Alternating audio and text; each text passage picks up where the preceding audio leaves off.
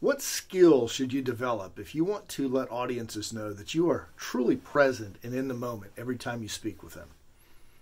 The answer to that question will be found in this daily dose of public speaking wisdom.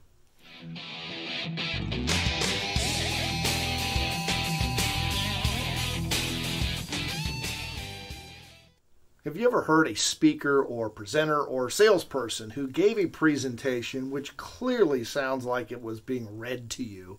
It had been memorized and it really didn't connect. Well, sure, we all have. That's one of the biggest problems with presentations today. Too many of them sound canned. If you want to be a presenter who stands out from the crowd, learn to master the use of callbacks. Callbacks are a terrific tool in connecting you with your audience because it lets them know that you're paying attention, that you're there for them, that you're just not giving some prepackaged presentation. Try to say that 10 times in a row.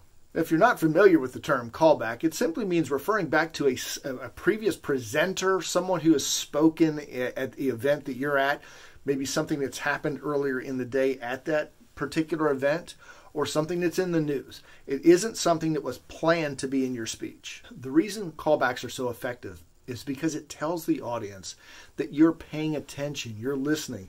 You're not there just to give a, a memorized speech and then move on.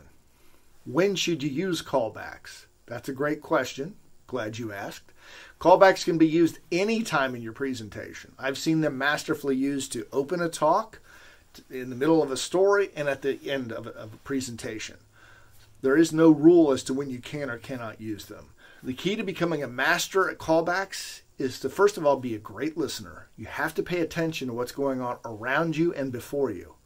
You also have to be willing to give up some of your personal time to attend an event, a presentation, workshop, whatever you're attending or where you're speaking. Get there long before your slotted speaking time so you can see who else is there, who's speaking, what are the topics, what are frustrations people have. The people I've seen who have mastered the callbacks typically have audiences in the palm of their hands from the very beginning because the audience can sense, they know that the person is there for them, not just to pick up a check or make a sale. Master the callback, and you will connect with your audience. Talk with you on our next daily dose of public speaking wisdom.